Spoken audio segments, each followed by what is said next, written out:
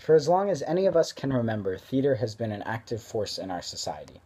It's unique among art forms because it calls for a live, active experience that is shared by its audience. Attending a theatrical event is unlike anything else, and that is something that should always stay sacred. Nothing else has the power to bring together large groups of people from diverse backgrounds the way that theater does. It's a force that can break down walls that society places between people. It's a place where people can come together. It's a vessel for telling all kinds of stories in unique and magical ways, and it needs to live on. I believe that there are two major benefits to theater. First is the idea of community. In many ways, I believe that theater put the unity in community.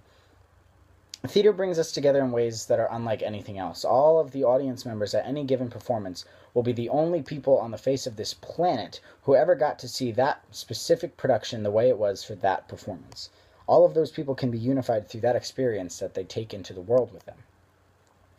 The second benefit, and in my opinion the most important aspect of theater, is play. We sometimes lose this aspect of theater, especially when theaters become money hungry and begin to produce shows for the sole purpose of garnering a profit. If you put on plays for the money, you should probably find a new career. If you put on plays for the play, you should never leave the theater. I mean, they're literally called plays.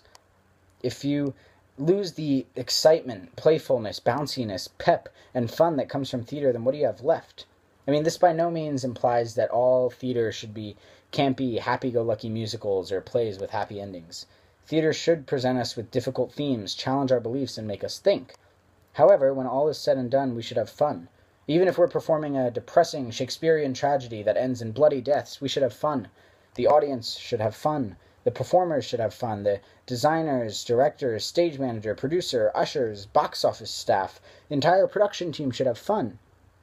Everyone should enjoy it, and your audience should leave being glad that they spent their time at the theater. I mean, they don't need to love your production, but they need to be moved, impacted, or provoked to think in some way that leaves them glad that they attended. And they need to feel like they played with you. When I look at the current state of theater today, I'm sometimes a bit saddened by the lack of community and the lack of play. The competition for jobs causes cattiness and jealousy to course through the veins of many performers. The greed of producers causes theaters to take less risks and produce shows for the sole purpose of selling out to huge crowds, regardless of the true quality of the work. Audiences have become less accustomed to bold choices and less willing to appreciate risks on stage. Many people are sucking the fun out of theater.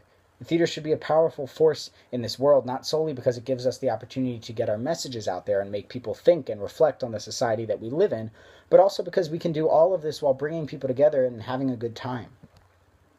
At the end of the day, theater should be rooted in love love of art, love of the craft, and love of a good story, but not the love of money.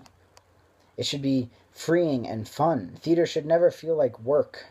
If you do what you love, you'll never work a day in your life. Therefore, to all theater artists out there, I say remember why you fell in love with theater in the first place. Hold on to that and never let anyone strip that from our theaters.